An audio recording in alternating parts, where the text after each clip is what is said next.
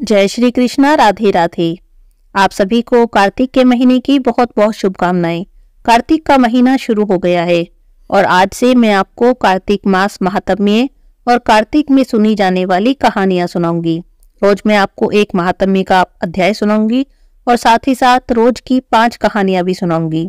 तो चलिए सुनते हैं कार्तिक मास के पहले दिन की कहानियाँ। एक बार नैमिषारण्य तीर्थ में श्री सूत जी ने अठासी हज़ार सनकादिक ऋषियों से कहा कि अब मैं आपको कार्तिक मास की कथा विस्तार से सुनाता हूँ, जिसका श्रवण करने से मनुष्य के सभी पाप नष्ट हो जाते हैं और अंत समय में वैकुंठ धाम की प्राप्ति होती है।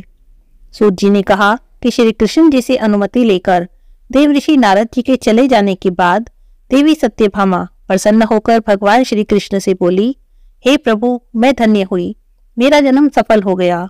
मुझ जैसी त्रिलोक्य सुंदरी के जन्मदाता भी धन्य है, जो आपकी सोलह हज़ार स्त्रियों के बीच में मैं आपकी परम प्यारी पत्नी बनी। मैंने आपके साथ नारद जी को वह कल्प वृक्ष, आदि पुरुष विधि पूर्वक दान में दिया, परंतु वही कल्प वृक्ष मेरे घर में लहराया करता है। यह बात मृत्यु लोक में किसी स्त्री को ज्ञात नहीं है। हे त्रिलोकीनाथ, मैं आपसे कुछ पूछने की इच्छा रखती हूँ। आप मुझे कृपा करके कार्तिक महात्म्य की कथा विस्तार से सुनाइए, जिसको सुनने से मेरा हित हो सके और जिसको करने से कलप पर्यंत भी आप मुझसे विमुख न हो।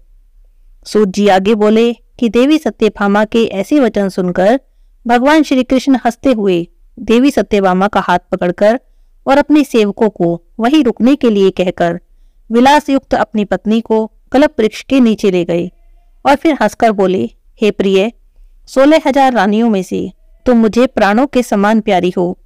तुम्हारे लिए मैंने इंद्र और देवताओं से विरोध किया था। हे कांते, अब जो तुमने बात मुझसे पूछी है, उसके बारे में सुनो।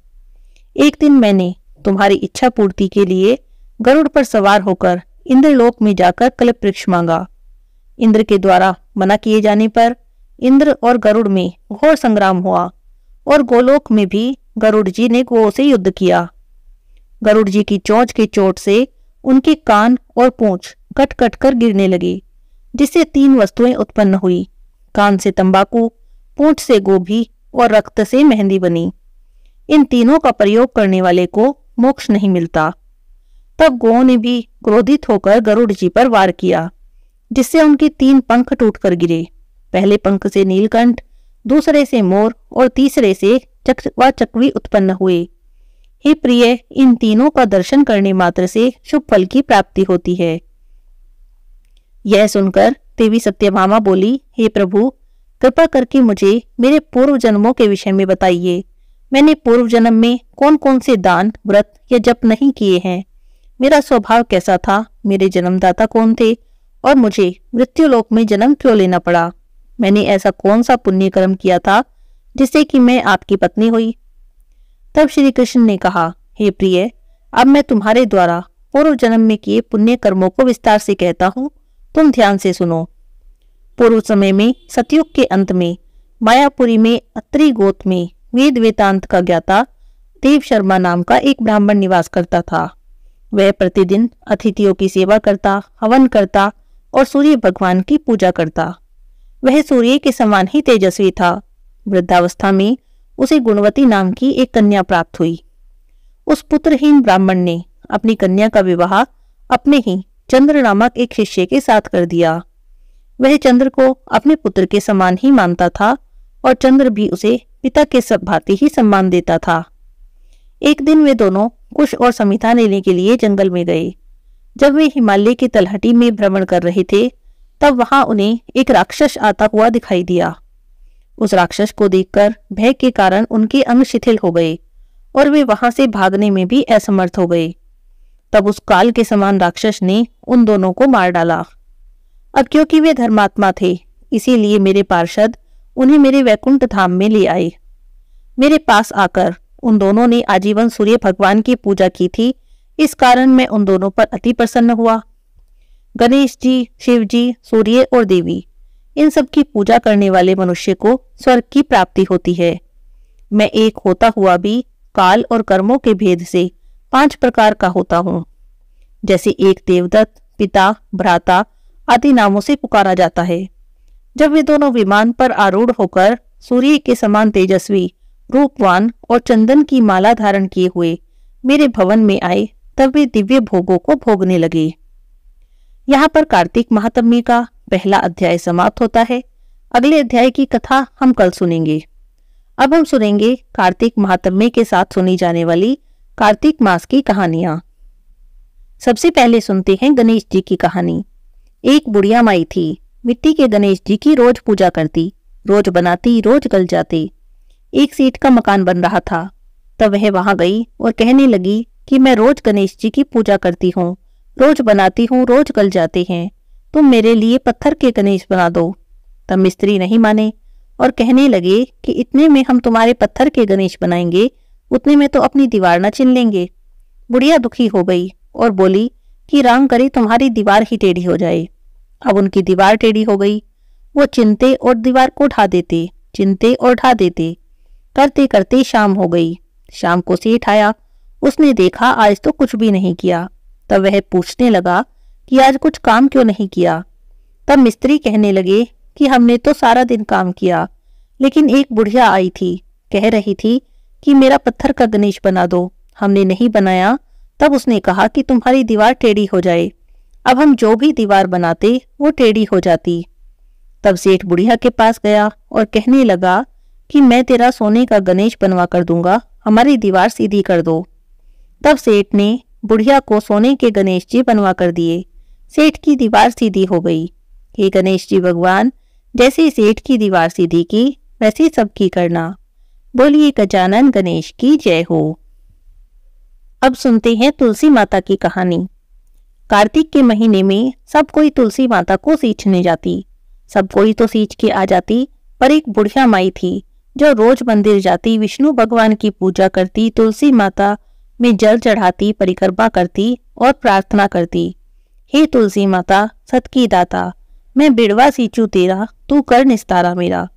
तुलसी माता अड़ुआ दे लड़ुआ दे पीताम्बर की धोती दे, मीठा मीठा ग्रास दे, वैकुंठ का वास दे, चटके की चाल दे और पटके की मौत दे। चंदन का काट दे, झालर की छनकार दे, साई का राज दे, दाल भात का जिम्मन दे और ग्यारस का दिन दे, कृष्ण का कांधा दे। इतनी बातें कहकर बुढ़िया माता चली जाती। बुढ़िया माई की बातें सुनकर तुलसी माता सूखने लगी। एक दिन भगवान ने पूछा कि, देवी, तुम सूखती क्यों जा रही हो? तब तुलसी माता बोली, भगवान मेरे पन की पूछो मत। तब भगवान हंसकर कहने लगे कि, मैं नहीं पूछूँगा तो कौन पूछेगा? अब बताओ, तुम क्यों सूखने लगी? तब तुलसी माता ने कहा कि, एक बुढ़िया माई आती है और रोज़ाना इतनी बात कहकर चली जाती है। मैं और तो सब कुछ दे दूँगी। पर आप कृष्ण जी का कांधा कहाँ से दूँगी? एक दिन की बात है, बुढ़िया माई मंदिर से वापस आ रही थी। ठोकर लगी, ठोकर लगते ही गिर पड़ी, गिरते ही उसके प्राण निकल गए। बुढ़िया माई को गिरता देखकर आसपास के लोग आए और बुढ़िया माई को उठाने लगे। देखा तो बुढ़िया माई मर चुकी थी, लेकिन कितनी भी कोशिश करे, वे बुढ़िया माई को नहीं उठा पाए। तब सब लोग आपस में चर्चा करने लगे कि हम तो सोचते थे बुढ़िया माई बड़ी धार्मिक है, लेकिन लगता है ये तो बड़ी पापिन थी। इतनी भारी हो गई है कि किसी के उठाए नहीं उठ रही। वहाँ पर भीड़ जमा हो गई। थोड़ी देर में भगवान एक बूढ़े ब्राह्मण का वेश बनाकर आए। पूछने लगे कि इतनी भीड़ क्यों जमा है? तब सब कहने लगे कि एक बुढ़िया माई मर गई है। बड़ी पापिन थी, किसी के उठाए नहीं उठ रही। तब भगवान कहने लगे कि मुझे देखने दो। तब सब लोग हंसने लगे कि ले, हमने तो अपने मन की कर ली, जा तू भी कर ले। अब भगवान बुढ़िया माई के पास गए और उसके कान में जाकर बोले, बुढ़िया माई तो बिड़ला सींचे मेरा, मैं करूँ निस्तारा तेरा। ले बुढ़िया माई, अड़ुआ ले, गड़ुआ ले पीताम्बर की धोती ले, मीठा मीठा घास ले, वैकुंठ का वास ले चलके की चाल ले और पटके की मोत ले, चंदन का काठ ले झालर की झनकार ले, साई का राज ले और दाल भात का जिम्मन ले, कृष्ण का कांधा ले। बस इतनी बात सुननी थी कि बुढ़िया माई हल्की हो गई और भगवान अपने कंधे पर उसे ले गए, बुढ़िया माई की मुक्ति हो गई। हे तुलसी माता, जैसे आपने बुढ़िया माई की मनोकामना पूरी की, जैसे उन्हें मुक्ति दी, ऐसे ही सबको देना। बोलिए तुलसी माता की जय हो। अब हम सुनेंगे कार्तिक की कहानी। एक सास बहू थी। सास कार्तिक नहाती थी। रोज बारह कोस जाती और बारह कोस आती। बहू का भी कार्तिक नहाने का मन हुआ। तब उसने सास से कहा कि मैं भी कार्तिक स्नान करना चाहती हूँ। तो सास ने मना कर दिया। बहू बेचारी बड़ी दुखी हुई, लेकिन वो घर में ही कार्तिक नहाने लगी। कठड़िया में पानी डालकर कहती कि मन चंगा तो कठौती में गंगा। बस उसकी प्रार्थना सुनकर गंगा जी वहीं आ जाती और बहू उसमें नहा लेती। एक दिन की बात है, सासू जी गंगा नहाने गई तो उनकी नथ बह गई।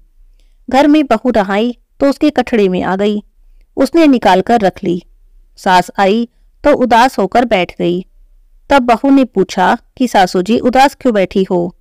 तब सास कहने लगी कि आज तो बड़ा नुकसान हो गया। मेरी नथ गंगा में बह गई। तब बहू ने नथ निकाली और सास को देते हुए कहा कि लो सासू जी, आपकी नथ तो मेरे हाथ में आ गई। तब सास ने पूछा, कैसे आई? तब बहू बोली कि तुम तो बारह कोस जाती हो, बारह कोस आती हो, गंगा जी नहाकर। मैं तो घर में ही कठड़िया में पानी डालकर कह देती हूँ कि मन चंगा तो कठौती में गंगा। अब मेरी प्रार्थना पर गंगा जी यहीं आ जाती है। बस आज उसी में तुम्हारी नत भी बहते बहते आ गई तो मैंने उठाकर रख ली। जैसे सास को आई, किसी को भी ना आए और जैसे बहू को आई, सबको आए कहते सुनते हुंकारा भरते को। अब सुनेंगे पथवारी की कहानी। एक बुढ़िया माई थी। बुढ़िया माई के चार बेटे थे, चार बहुएँ थी। बुढ़िया माई के पास चार भैंसे थी। आया कार्तिक का महीना। तो बुढ़िया माई अपनी बहुओं से बोली कि मैं तो कार्तिक स्नान करने जा रही हूँ। तुम सभी एक एक भैंस ले लो। एक महीने बाद आऊँगी तो देखूँगी तुम में से किसने सबसे ज़्यादा घी जमा किया है। अब उसकी तीन बड़ी बहुएँ तो बड़ी चालाक थी, लेकिन छोटी बहू बड़ी सीधी सादी थी। उसे ना दूध पिलोना आता था और ना घी निकालना आता था। अब सासू माँ तो एक एक भैंस देकर कार्तिक स्नान को चली गई। तो तीनों देवानी जेठानी आपस में योजना बनाने लगी कि अब देखते हैं ये क्या करेगी, क्योंकि इसे तो ना दूध बिलोना आता है और ना घी निकालना आता है। अब सासू छोटी से ज़्यादा प्यार करती थी, इसीलिए वे तीनों उससे जलती थी। अगले दिन सबसे छोटी बहू अपनी देव, जेठानियों से पूछने लगी कि कैसे दूध बिलो, कैसे घी निकालू तो उसे किसी ने कुछ नहीं बताया। अब वह तो बड़ी भोली भाली थी, बहुत दुखी हुई। उसका रोज मंदिर जाने का नियम था। वो घर का सारा काम करके मंदिर में गई तो देखने लगी कि वहाँ सभी औरतें पथवारी की पूजा कर रही थी। तो उसने पूछा, क्या कर रही हो? वे बोली कि कार्तिक का महीना शुरू हो गया है, इसीलिए पथवारी की पूजा कर रहे हैं। उस दिन मंदिर में बहुत सारी संगत भी रुकी थी कार्तिक स्नान करने के लिए। तब बहू ने क्या किया? सारा दूध दही ले जाकर तो संगत को पिला दिया और पथवारी की पूजा करके घर आ गई। अब वो रोज ऐसे ही करने लगी। दूध दही बेकार होगा, इसे तो अच्छा है कि कार्तिक स्नान करने वाले को ही पिला दूँ। तो उसने सारा दूध दही तो कार्तिक स्नान करने वालों को पिला देती, पथवारी की पूजा करती और घर आ जाती। करते करते पूरा महीना हो गया। तीन बहुओं ने तो डिब्बा भर के घी जमा कर लिया। अब छोटी बहू तो बेचारी बड़ी डर गई कि अब सासू जी आएँगी, पूछेंगी, घी कहाँ है, मैं क्या कहूँगी? तो वो तो पथवारी के पास जाकर उदास होकर बैठ गई। पथवारी ने पूछा कि ऐसे उदास क्यों बैठी हो?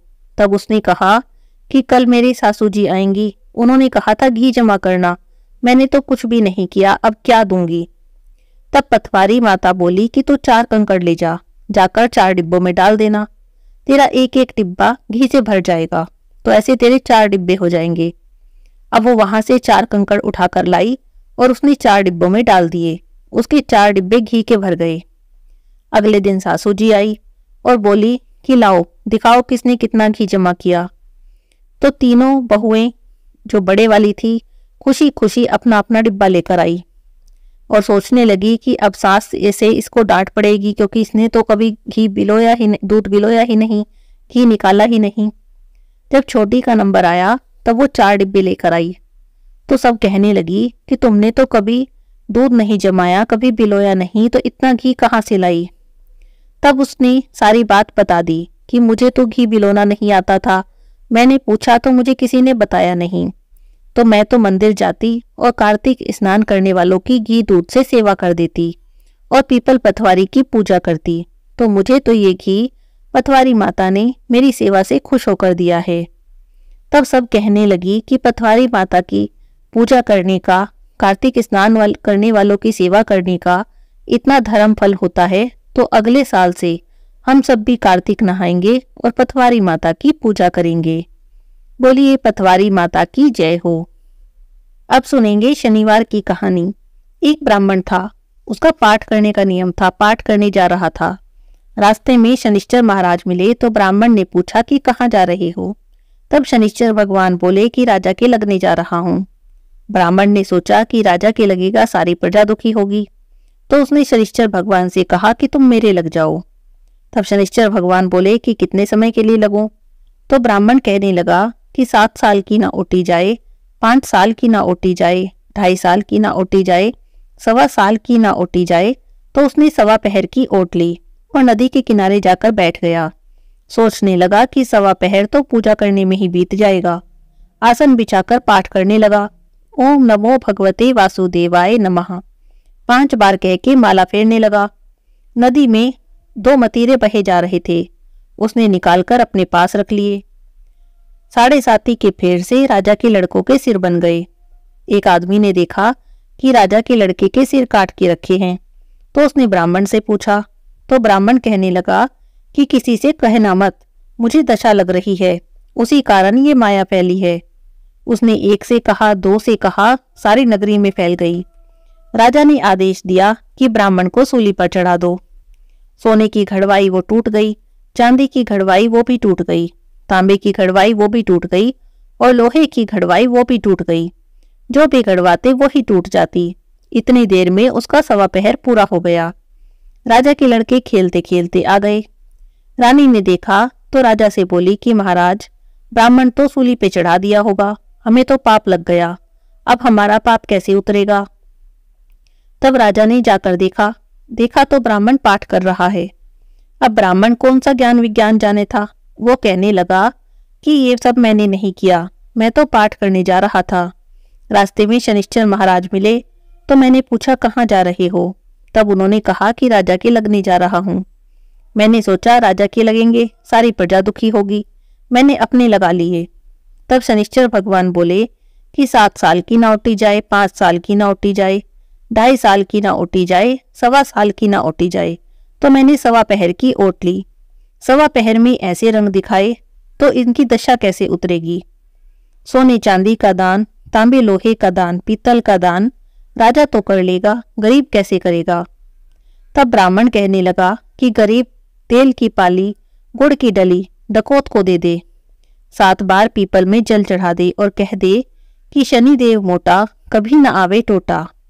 शनिवार की घड़ी घड़ी ले सत्तर बला टले। ऐसा सात बार कह दे। सात बार जल चढ़ा दे तो सारी बला टल जाए। बोलो शनिश्चर भगवान की जय हो। ये थी कार्तिक मास के पहले दिन की कहानियाँ। अगर आपको कहानियाँ अच्छी लगी हैं तो चैनल को सब्सक्राइब करें ताकि आप रोज ऐसी ही कहानियाँ सुनते रहें। हरे कृष्णा, राधे राधे।